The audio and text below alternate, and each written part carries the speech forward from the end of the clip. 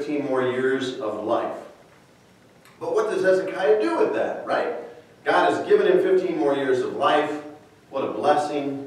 What does Hezekiah do with that? Will he use it well? Will he live in wisdom to the glory of God, or will he use it in another way? Well, as we go through Isaiah 39, something will become more and more clear. And here are some verses outside of Isaiah 39 that will give you a hint of what Hezekiah will give into. So I'm just going to give you three verses, and these are what these verses are talking about are hints of what Hezekiah will give into. Okay, so Proverbs 11, verse 2. When pride comes, then comes disgrace, but with the humble there is wisdom. Proverbs 16, verse 18. Pride goes before destruction, and a haughty spirit before a fall. We've heard that one before, right? Maybe you didn't know it was a proverb. Pride goes before the fall. Proverbs 29, verse 23. One's pride will bring him low. But he who is lowly in spirit, another way of saying humble, will obtain honor. Did you pick up on the hints at all of what Hezekiah might be battling here in Isaiah 39? Let's read verse 1. At that time, Merodach, Baladan, the son of Baladan, king of Babylon. Now we're talking about Babylon, not Assyria anymore. This is Babylon. King of Babylon sent envoys with letters and a present to Hezekiah. For he had heard that he had been sick and had recovered. The king of Babylon sends a letter and present to King Hezekiah. This is a gesture of kindness from the king of Babylon, right? He, hey, you're a fellow monarch. I'm just showing my concern, my general concern. Good, good on you, right? Be no different than a president hearing that, oh, the, the prime minister of Sweden is sick, and then he gets better. And you send him a present, and you send him a letter, right? Kind of kind of along the same lines. He's fellow royalty. This is because the presence of Merodach Baladan, because he was there, because the son of the king was there, this is more than just a general courtesy, though. This isn't just a tip of the hat and a nod. This is more than that. This is an attempt to bring the kingdom of Judah on the side of Babylon. This is because Babylon was against Assyria. So we've been talking about Assyria pretty much the entire time up until this point. Now we read of Babylon. To the Assyrians, Baladan was a terrorist. He was uh, devoted to the liberation of the Babylonians from the Assyrians. At this time, Assyria was a superpower, and Babylon would be like a level below that. They're not a superpower, but they are a threat. And of course, at this time, Hezekiah is tremendously worried about Assyria himself. So to have this envoy from Babylon come all of a sudden with a letter and with a gift, you can see how that would be appealing to him. How he would feel honored by that. Because in the grand scheme of things, Assyria is a superpower, Babylon's just underneath that, and then you have Judah well underneath that. So he would feel quite honored by that, and he gladly welcomed the honor or the envoys of the enemies of Assyria. He welcomed these men from Babylon. Notice that in the chapters that we've read before this, when stuff was happening, Hezekiah went to Isaiah. Hezekiah went to the Lord. He does no such thing here.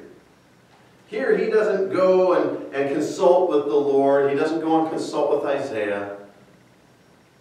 He ends up doing something foolish because of that.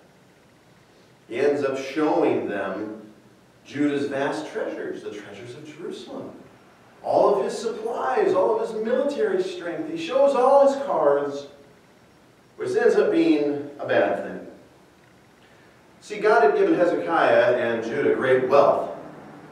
And so when they came, these ambassadors of Babylon, he's kind of getting a little puffed up, right? Hey, these guys who are more important than we are are showing me some attention, stroking the old ego, right? So he wants to impress them. So he shows them the great wealth that God has given them. Shows them everything. Shows, like I said, all his cards. And we see in Chronicles 32, 2 Chronicles 32, that they're impressed. Hey, quite a bit of stuff here. Nice kingdom you have here, right? The first part of Isaiah chapters 1 through 38 mostly dealt with the Assyrians, right? And we're still in that phase where the Assyrian army is a threat. The Hezekiah has just been healed. The Assyrian army is still a threat. We're kind of bouncing back and forth in time. We've talked about before about God delivering Judah and Jerusalem from the Assyrians. We've talked about Hezekiah being sick before that happened. And now we're kind of in that same timeline, right? So don't get confused. We're just bouncing back and forth in time. You're not crazy. We're just bouncing back and forth in time in the story. So the first part of Isaiah, 1 through 38, those chapters deal with mostly the Assyrian Empire. We've talked a little bit about Edom, we've talked a little bit about uh, Egypt and stuff too, but primarily it was the Assyrian threat. The rest of Isaiah, now through chapter 66, will prophetically speak to the coming threat of the Babylonian Empire. You can separate Isaiah into two sections that way. so you can actually look at this chapter as kind of an introductory chapter to the rest of Isaiah. It will also focus on, it's not all about Babylon. It will also focus on the coming of Jesus Christ, the Messiah, now through the rest of Isaiah. Finally, we can move on to verse 2 here. This is Hezekiah uh, actually entertaining these envoys. It says, And Hezekiah welcomed them gladly, and he showed them his treasure house. The silver, the gold, the spices, the precious oil, the whole armory. It's all his weaponry all that was found in his storehouses. There was nothing, there was nothing in his house or in all his realm that Hezekiah did not show them. Showed them everything. Look at it all. I'm holding nothing back. Again, you can imagine that this was very flattering for King Hezekiah, right? After all, Judah's low down on the totem pole. And they're being, uh, you know, Babylon's a, a, a mini superpower. And they're paying attention to this little nobody nation. He's flattered by this. He's receiving notice and recognition from the king of Babylon. And so that would make King Hezekiah feel pretty important, right? In gratitude, Hezekiah shows him everything.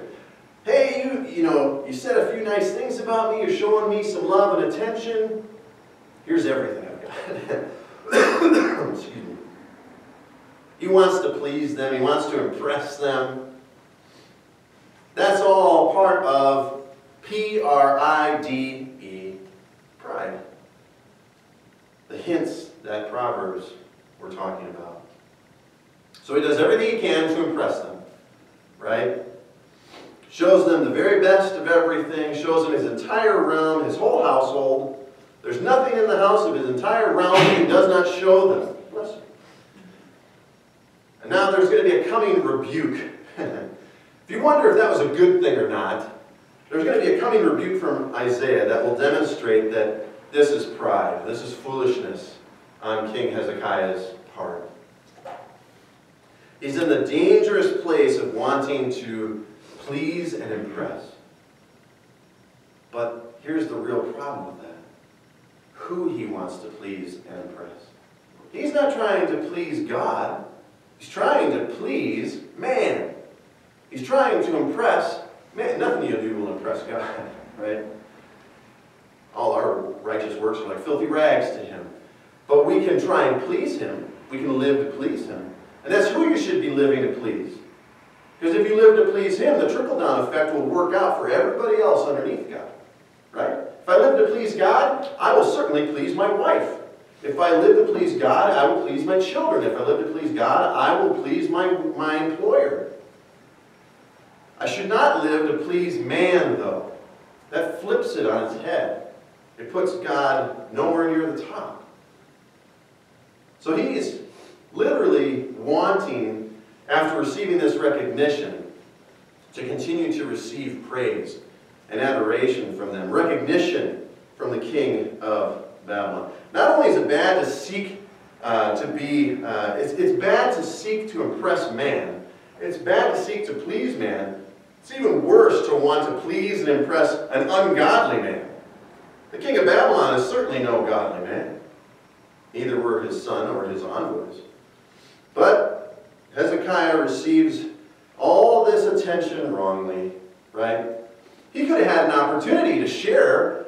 Look at what the Lord God of Israel has done. He is the only one and true living God, right? And He has blessed us. There was no need for him to have to show them everything. But what an opportunity for him to share the blessings of what the Lord has done. Oh, and by the way, you know, yeah, we've got Assyria outside our gates, you know, coming this way, but we're not worried because we have the one true living God on our side. Missed opportunity. Missed opportunity because he's too busy focused on himself. That's what King Hezekiah is doing. He let all his attention go to his head. He got puffed up. He got puffed up.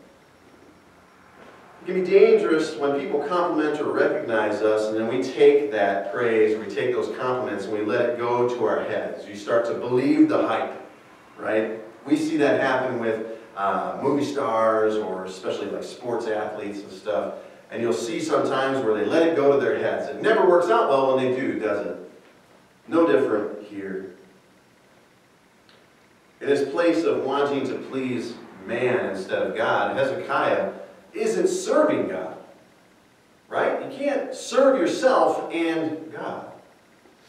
You can only have one master. Who's the master in your life? Is it you? And you just give God lip service? Or is it truly God? Who's making the decisions in your life? Who guides it? Who are you living to please? Yourself or God? Simple question. But a good litmus test that we must always be asking ourselves, right? To make sure that we never get too far off the path. Paul wrote in Galatians 1.10, For if I still pleased men, I would not be a servant of Christ. Paul gets it. I'm a servant of Christ. He's my master.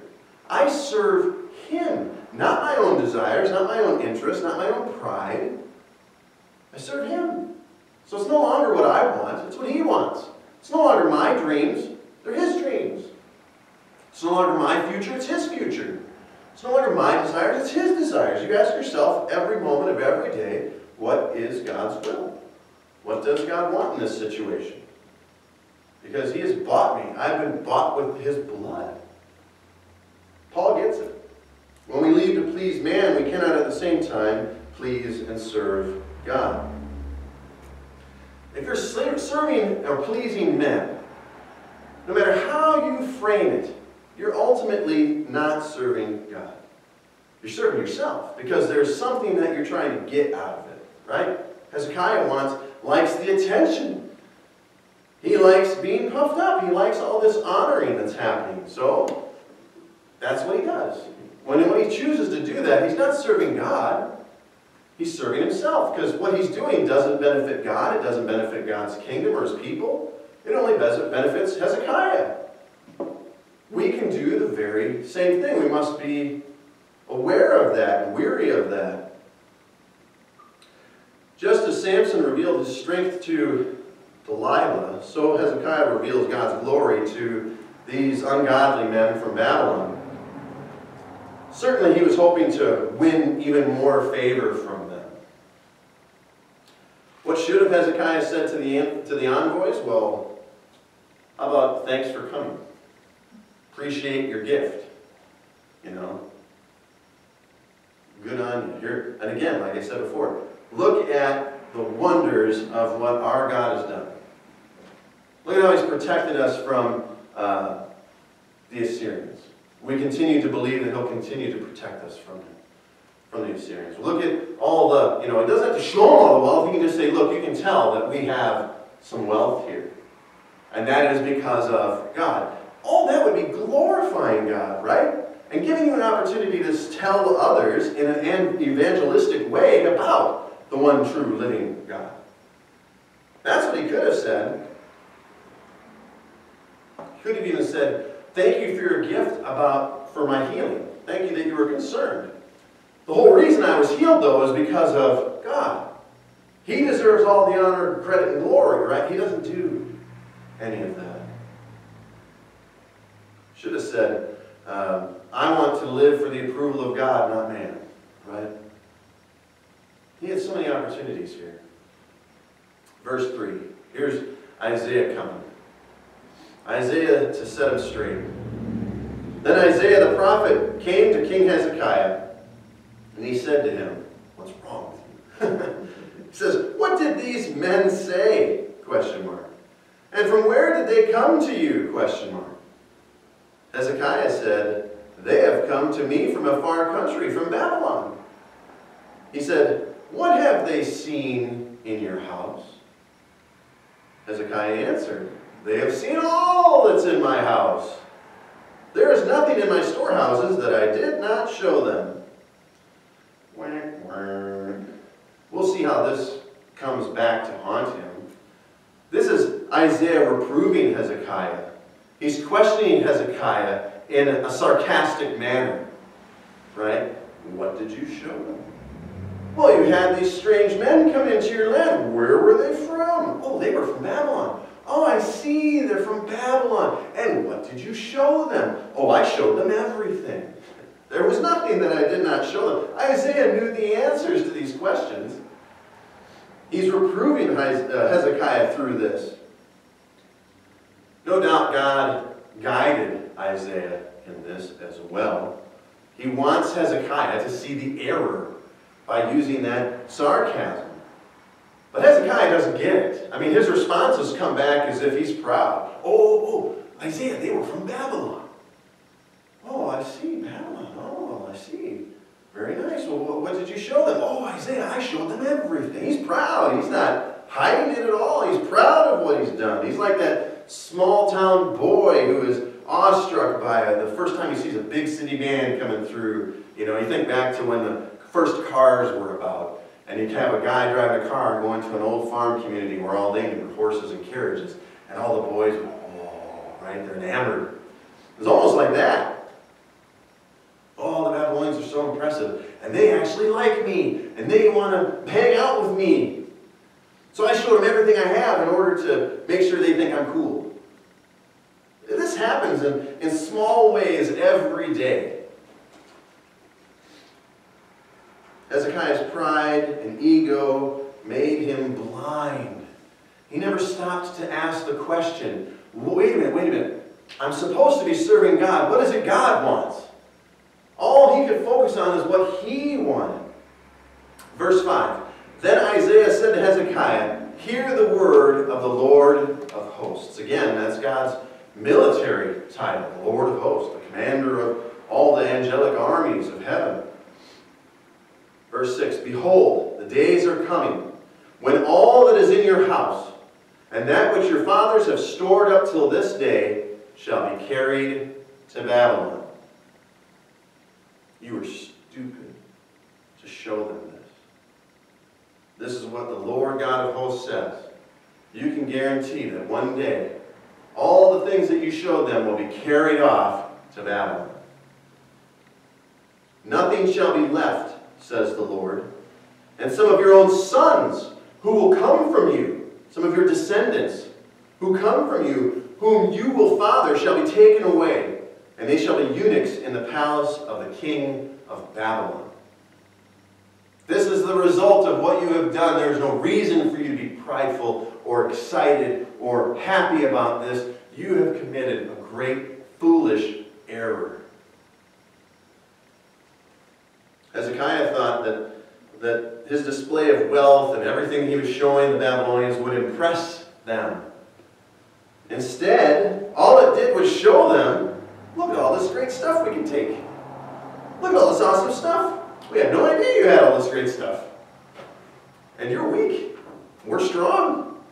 Why should we not come back and take all your great stuff? All it did was show them what the kings of Judah had and what they could get from them. One day the kings of Babylon would come and take it all away. That was fulfilled under the king of Babylon. You might have heard of him before, Nebuchadnezzar. This is mentioned in 2 Kings, verse 20, or chapter 25. It's also mentioned in 2 Kings chapter 24.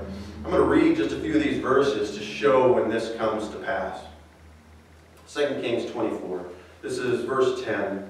Talks about Jerusalem being captured. It says, At that time the servants of Nebuchadnezzar, king of Babylon, came up to Jerusalem. So this is in the future from Isaiah. Servants of the king of Babylon came up to Jerusalem, and the city was besieged. And Nebuchadnezzar, king of Babylon, came to the city while the servants were besieging it. And Jehoiakim, the king of Judah, gave himself up to the king of Babylon, and his mother, and his servants, and his officials, and his palace officials. And the king of Babylon took him prisoner in the eighth year of his reign, and carried off all the treasures of the house of the Lord.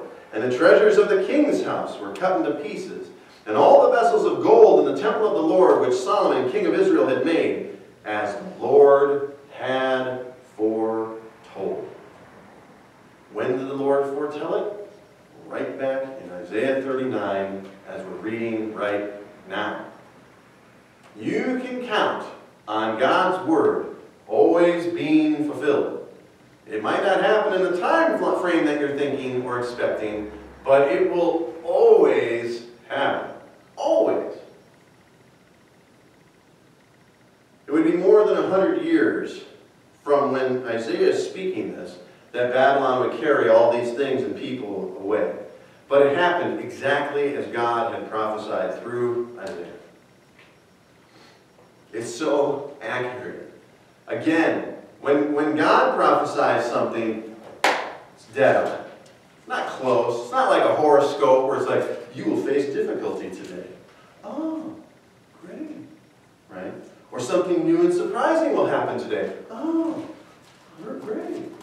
You'll meet someone new today. Oh, great. Really vague, right? I mean, that's a wide net. I can bump into somebody at Dollar General. Hey, I met somebody new today right? That kind of counts. Uh, that's not how God's prophecy works. It's dead on. It's 100% accurate, and it's specific. Ridiculously specific. Than taking all the riches that he had shown, the king of Babylon, Nebuchadnezzar, would take away the king of Judah and his belongings, but, but more importantly, his family. Sons and daughters of Judah. Far more important, right? All of us would say that your children are more important than your financial possessions. One fulfillment of this was taking someone into captivity you might have heard before by the name of Daniel. Daniel was one of the people taken into captivity, prophesied in Isaiah 39 and coming to pass in 2 Kings 24.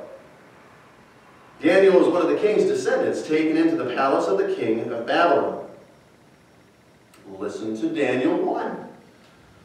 In the third year of the reign of Jehoiakim, king of Judah, Nebuchadnezzar, king of Babylon, came to Jerusalem and besieged it. And the Lord gave the king of Judah into his hand with some of the vessels of the house of God. And he brought them to the land of Shinar, in the house of his God, and placed the vessels in the treasury of his God.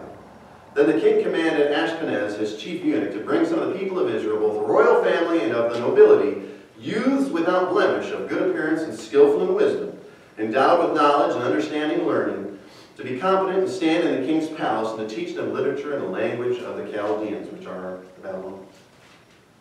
There's prophecy being fulfilled in yet another section of Scripture. It's all connected. It's all connected. Second Kings, Second Chronicles, Daniel, all connected to what we're reading in Isaiah. All connected. Because of this promise of God through Isaiah, they were taken. Taken to serve in the palace, just as God predicted. Verse 8 in Isaiah 39. Here's King Hezekiah's response. Verse 8 Then Hezekiah said to Isaiah, The word of the Lord that you have spoken is good. For he thought, There will be peace and security in my days. Ugh. This is a very sad state of heart in the king of Judah, Hezekiah. God announces judgment is coming. And all he can say is that, well, at least it won't happen in my lifetime. what? Whew! Wait a minute, Isaiah, you talked about all that judgment, but oh, wait a minute. What a relief. At least it won't happen in my lifetime. Does that not show you the state of his heart? The state of his mind in this moment? If we were talking to someone who was a, a friend of ours or a family member of ours, and we told them that, you know what, in 20 years, uh, 10 years after you pass away, your descendants, your sons and your daughters, are going to go through this horrific thing.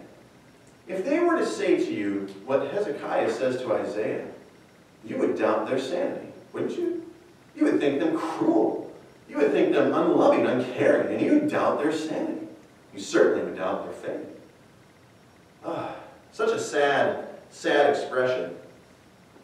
Hezekiah shows himself to be uh, the exact opposite of a selfless person. Again, who's he focusing on? Himself. Everything he's showing, all the fruit he's showing, is prideful and selfish. He's almost completely self-centered. All he cares about is himself. There's no doubt that Hezekiah started out well, right? Demolishing the pagan idols and temples. He started out well.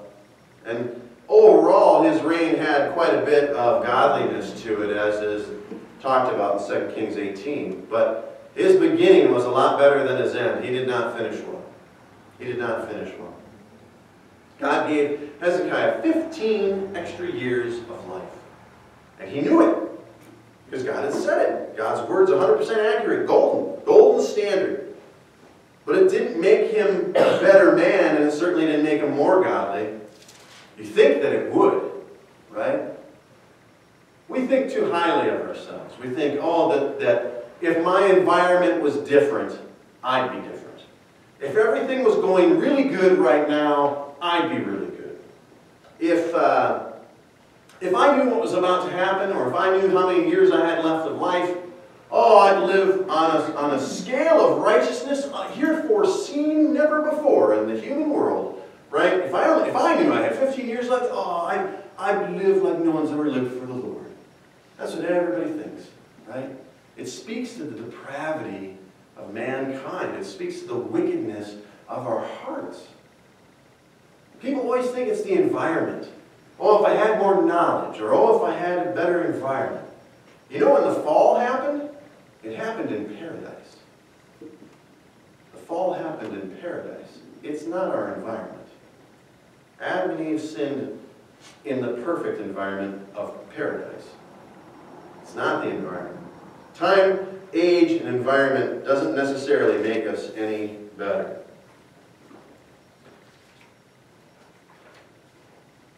Time comes and goes. It's what you do with it that matters. Hezekiah, did he make good use of the extra time that the Lord gave him? No. Not on a personal level. Certainly no. How should we spend our time? It's a good question. What should I do with my time? What's the biblical way? What's the biblical answer of what should I do with my time? I'm a Christian now. That means I'm supposed to be different than the rest of the world. So then, what does God say I should be doing? What does God say I should be doing and how I should be living? living? Romans 12 has part of that answer. I'm going to answer this a little bit for you. It's Romans 12, verses 1 through 2. I appeal to you, brothers. I appeal to you, believers, those of you who say that you are disciples and followers of Christ. I appeal to you, by the mercies of God, present your bodies as a living sacrifice. Your bodies, it doesn't say part of your body, your entire body.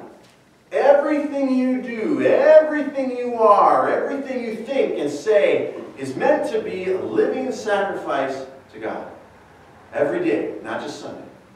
Every day, not just when you feel emotional, right? Or when you hear a song on the radio and you're like, oh my gosh, oh, I really gotta live for God. No, all the time is when we're supposed to be doing this. A living sacrifice that's holy and it's acceptable to God, which is your spiritual worship. Everything you say and do, your entire body, your entire thought life, your whole, all your actions, all your words, everything you are is supposed to be a living sacrifice to God, which is your spiritual worship to Him. If you love God and want to worship Him, you do it not just by singing songs, not just by giving of money or giving of time, but of giving of everything you have. Because guess what you owe God? Everything. He deserves no less. Goes on to say, do not be conformed to this world. Don't do what the world does. How should I spend my time? Living so that everything I'm doing is a form of worship to God. That's how you should spend your time. There is a lot of freedom in that. It's not a lot of rigidity, but there are bumpers on the side to keep you on the straight and narrow, right? Living for God and living for His glory. And living for God and His glory is not a, not a bore. It's not a, oh man, I gotta live for God. Ugh. No. When you do things the right way, which is God's way, it has a, a trickle-down effect, a ripple effect that will make everything else in your life line up and be better. Verse 2 in Romans 12, do not be conformed to this world. Don't do what the world does. Don't think how the world thinks. Don't take what they say is important and agree. Be different. But be transformed by the renewal of your mind.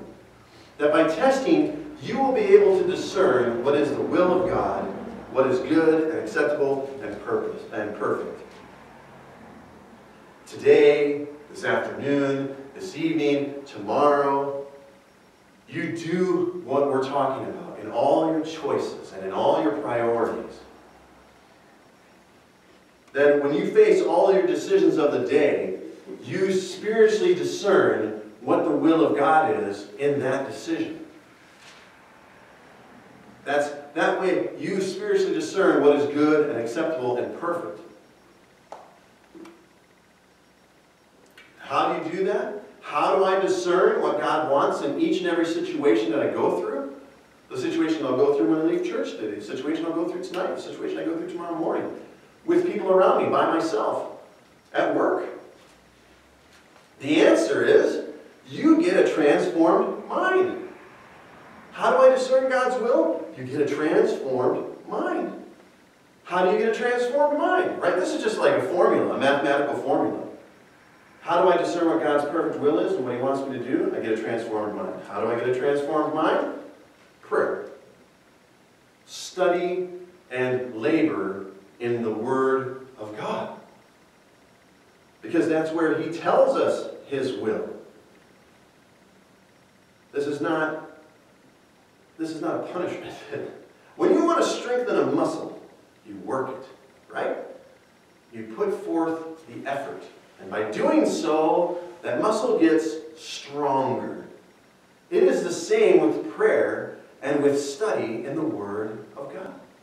We're very fortunate today to have many different avenues of being able to study the Word of God. You have a hard time reading, there's audio. You have a hard time with reading and audio, there's video. You have a hard time with all that, you can go to a good pastor who will sit down with you one-on-one, and I guarantee you, if you have a real man of God, that he will gladly take the time to labor with you in Scripture. When you have to choose this or that, when there's something that's in your mind that you have to discern what God wants, how Christ could be magnified, where faith can be built, where people can be loved, it's the Word of God itself that's the most helpful in doing those things. And then you use the Word of God in conjunction with prayer to be able to do it, to glorify God and to build up and edify His church. If you were to be asked by a friend, hey, I saw you do this, or I saw you do that, and they say, why did you go and do that? One of the benefits of doing what we're talking about is you'd be able to right to Scripture and say, this is why. Why did you give that person that, that, you know, you went and put this card in somebody's mailbox, knowing that they're hard up on money. But you didn't, you didn't sign it, you didn't do it. Why would you do that? That's weird. Why wouldn't you want them to know that you gave it? And then you would say, hey, don't let the left hand know what the right hand is doing. You'd quote scripture. Or you'd say, the Lord loves a cheerful giver, and I just don't want to have anybody, I don't need the glory, I want God to get the glory, and He rewards what He sees in secret. Right? You go to scripture. This is why I did what I did. And guess what that does? It does what Hezekiah doesn't do, didn't do. Glorifies God. Points to God. Points the person who's asking the questions to God. It's great. It's great. And that's one way to make sure that you're making the most out of the time that God gives you. You don't want, in, in Ephesians 5, it talks about awaken, O sleeper, right? Wake up. Live your life for God. You only have, you don't know how much time you have. We're not King Hezekiah. We don't know how many years we have left. So you don't want to end poorly. To be running across the finish line at the best pace yet and end well, to fight the good fight of faith, and to hear those precious words from our Lord and Savior. Well done, good and faithful servant. That's what we want. So we have to wake ourselves up because the society around us, the world around us, doesn't want the same thing. But that's where we spend the majority of our time. So you end up becoming kind of lulled like a siren call into the same thing. Wake up, oh sleeper. Right? Wake up. Don't get lulled into the same thing that the society and culture is doing around you. We're not part of that. We're in the world, but not of the world. We transform our minds. We live our entire life as the, that is our worship of God. How do you worship God? It's not a single moment. It's not a single action. It's all your moments and all your actions and all your thoughts. It's everything. Goes on to say, after that, awake, O sleeper, and arise from the dead in Ephesians 5, Paul says, look carefully how you walk, not as unwise, but as wise, making the best use of your time because the days are evil. Yes, absolutely true. Are we using the time that God has given us to its best? I'm constantly asking that question. Constantly. I never feel satisfied, right? Because I always see opportunity where I could be better. Oh, I could be doing this more. I could be doing that more. But the ultimate question is, am I glorifying God? Who am I doing this for? Why am I doing this? Am I doing, you know, ultimately, am I doing it for God's will or am I doing it for my own? Good questions for all of us to continue to ask ourselves. It's not a one-time thing. This is a daily thing. It's just like repentance. Repentance isn't a one-time thing. It's a daily thing. Faith is not a one-day thing. It's an everyday thing. Right? And so these are good questions to ask ourselves. How am I using my time? And am I, am I really, really, really, really using my time for God or am I using it for myself? Let's pray. Father, we thank you for today's word. Please help us. Help us to not be like King Hezekiah. It is an overwhelming temptation to use the time that you have graced us with for ourselves.